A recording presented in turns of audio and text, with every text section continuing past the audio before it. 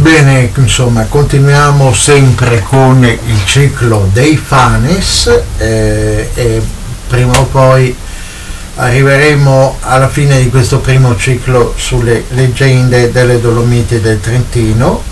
Eravamo rimasti all'incontro eh, fra ehm, Lizanel, diventato eh, ora Kafusk, cioè eh, testa fu- fosca, scura, e per lui, per lui che è uh, uno degli, uh, dei guerrieri superstiti di Reodolges. No? E, dunque ehm, ero rimasto a questo, oh, questo brano. No? Per lui infatti era di modi gentili, amante più di falce che di spada, e ben dentro nella conoscenza delle cose che crescono sopra la terra e dei pacifici animali della montagna. Cioè qui viene mostrato il contrasto, eh, l'opposizione potremmo dire, fra eh, l'Ilsanel Kafusk e eh, Terlui, no? che entrambi superstiti eh, del regno eh, di, di, Re Odolges, eh, solo che mentre ehm, Litzanel ha scelto la strada ancora una volta della violenza fino al punto di degenerare nella follia, no? di mettersi addirittura contro gli elementi stessi della natura, gli animali e le piante, per lui invece eh, di, di tutt'altro animo, no? anziché eh, macerarsi, consumarsi dentro il risentimento, l'odio, eh, il rancore, il senso di colpa, eh, tutti i sentimenti più negativi che possono albergare in un uomo, eh, ha deciso di creare una comunità eh, fondata sulla pace, no? sull'accordo con la natura, con, con le piante e con gli animali no? e eh, cercare appunto di, di, di, vivere in pace dopo aver tanto combattuto. Anche se poi è ehm, Lizanel che salva, eh, che salva eh, Tarlui dai eh, nemici trusani che ancora una volta sono arrivati a rompere le scatole Dunque, così con la sua comunità di pastori, tra lui viveva bene e scambiava le pecore e la lana con gli abitanti della valle. Proprio di ritorno da una di queste spedizioni eh, ai mercati della valle erano stati sorpresi dai trosani. Eh, Cafusche li vide e decise di aiutarli. Dunque, levata allora la gloriosa spada Sabbia de Fec, la spada di fuoco tutta placata d'oro, gridò con tutta la sua forza come aveva gridato agli alberi. Avanti, sono qui, seguitemi i miei prodi. Ammazziamoli tutti! A questo grido molti degli assalitori fuggirono e gli uomini coi bastoni, ripreso coraggio, respinsero il nemico al di là del Col de Me, allora il loro capo si avvicinò a Cafusk e gli disse ridendo, sei un valente guerriero, ma i tuoi uomini in verità sono lenti a seguirti. Cafusk rispose, dove sono io sono tutti miei, e alzò alta la spada in segno di regalità, e la gloriosa spada brillò nella sua punta d'oro. Fu allora che tra lui gli si gettò ai piedi perché aveva riconosciuto in lui il figlio adottivo del suo re che imbracciava la gloriosa spada Sabia de Fec tu sei Lidsanel, Lidsanel che il grande Odolges ha invocato prima di morire, Lidsanel che si è fatto bandito per orgoglio. Come hai potuto, Lidsanel, dimenticare la tua regalità e il tuo popolo? Ora che ti ho trovato, resterai con me e sarai di nuovo re. Ma il popolo eh, di Tarlui non si fidava di quello straniero. E Tarlui disse, abbiate fiducia in quest'uomo. Anche se è stato bandito, diverrà pastore, perché così è scritto. Parve allora che Lizzanel avesse ricevuto un colpo mortale e abbassò il capo fosco e pianse. Poi si lasciò cadere a terra e un'oscura tenebra piombò su di lui. Tra lui lo raccolse e lo portò nelle terre segrete e lo accudì con l'amore di un padre. Quando Lizzanel uscì dalle tenebre era giunta un'altra primavera e i campi della gente di Tarlui cominciarono a rinvertire e la natura sorrideva. Così fra i pastori visse Lizzanel fino al successivo autunno e si riprendeva nelle forze e nella memoria. Canta infatti l'antica runa, Lizzanel, Lizzanel, da te da re ti sei fatto bandito, e poi pastore di pecore. Cosa ancora riserverà il tuo destino? Fu in quel momento che Lizzanel chiese a Tarlui di nascondere il suo nome e tenerlo segreto a tutti. Così si chiamò Fedor, da Feda, che nella lingua antica significa pecora.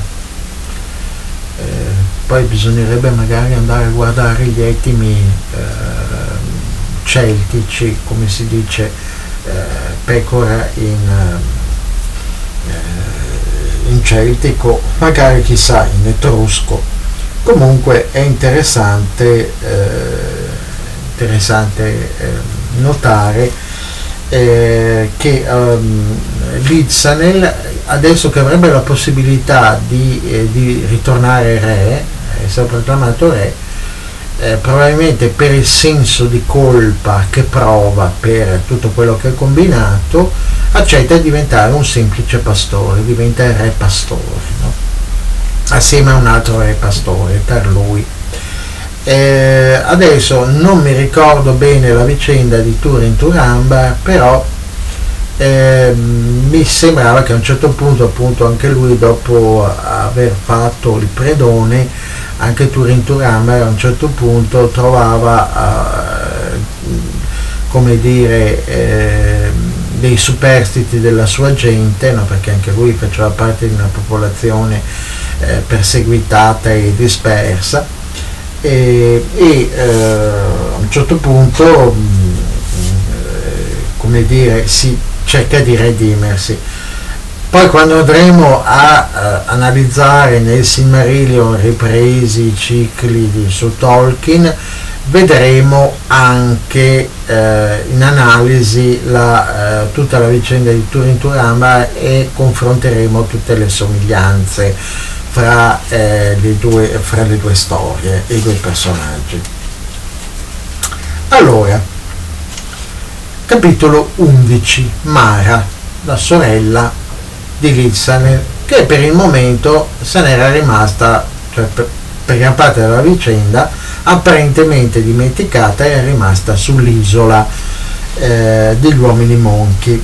Intanto nell'isola lontana, l'isola delle Aquile, qui viene chiamata isola delle Aquile perché ricordatevi sempre che Re Aquila è insieme Re degli uomini monchi, sono la stessa persona che cambia aspetto e forma a seconda delle situazioni.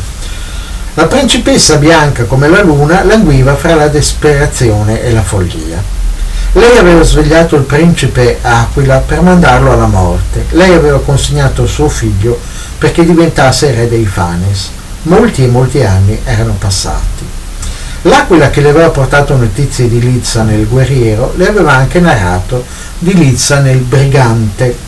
La principessa gridava al mare, se mio figlio si nasconde affamato nei boschi, se insegue come un lupo le sue prede o se il suo corpo giace senza sepoltura, voglio andare a cercarlo.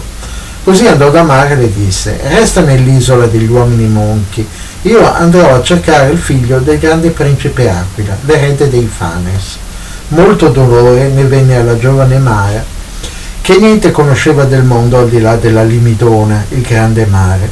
Ma con animo saldo disse, se la moglie del grande principe Aquila può partire seguendo il richiamo del sangue, lo stesso può fare la figlia ed erede dei Fanes.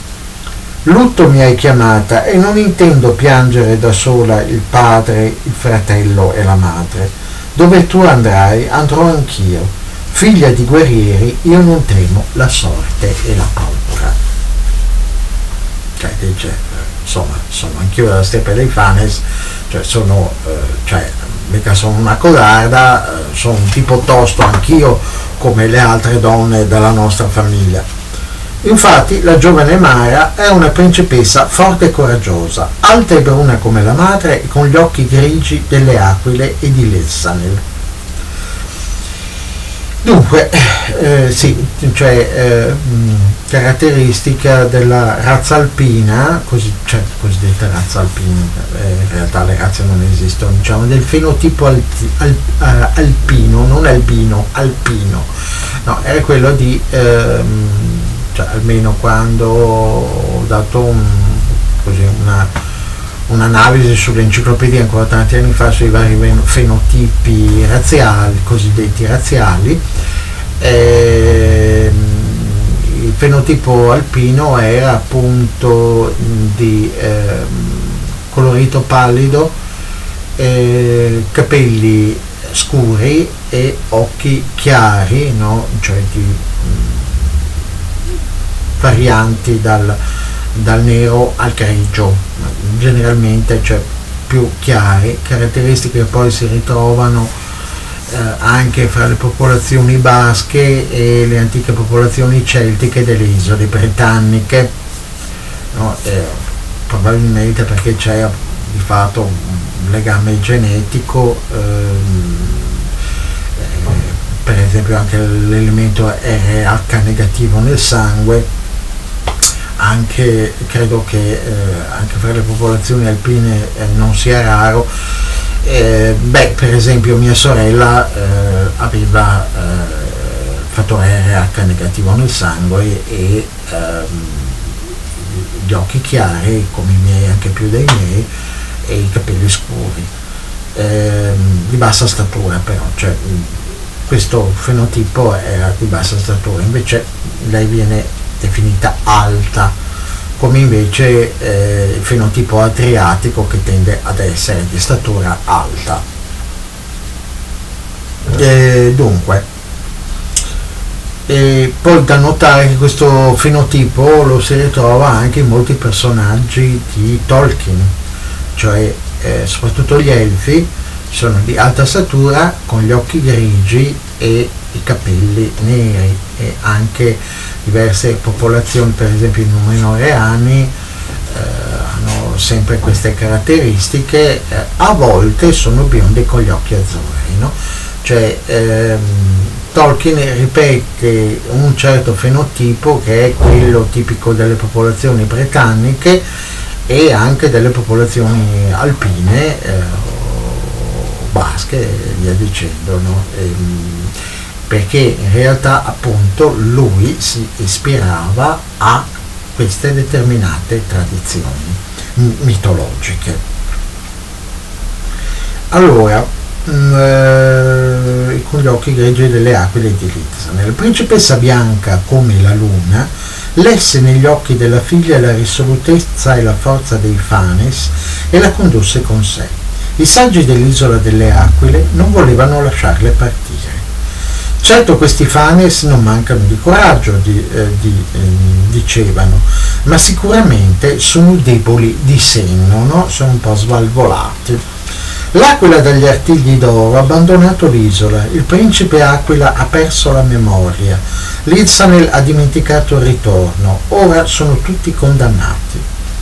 Ma la principessa non sentiva ragioni e così armò una barca e lei e Mara andarono al di là del mare fino alle sette paludi al confine del mondo. Le sette paludi uno dice quali possono essere, ma potrebbe essere la laguna di Venezia, cioè dalle isole della Dalmazia hanno raggiunto la zona della laguna di Venezia e da lì che, che, già si è in vista delle Dolomiti, no? perché dalla laguna di Venezia si vedono le Dolomiti, le, le montagne e poi anche ho sentito da, da, anche da, dalle Dolomiti si può vedere la laguna di Venezia e da lì appunto avrebbero raggiunto eh, la zona dolomitica. Eh, dunque, mh, mm, di là gli uomini bonchi organizzarono i cavalli e con un piccolo seguito li condussero verso la terra dei Fassani, dove avevano sentito che si aggirava l'Izzanel unito ai pastori di Tarlui. Camminarono così per molti giorni e la sera del settimo giorno arrivarono accanto a un colle calvo che si chiamava Col della Roda. Lì si accamparono in attesa del nuovo giorno. No? E, e, qui eh, sono costretto a chiudere e um, ormai ci avviciniamo alla fine. Arrivederci.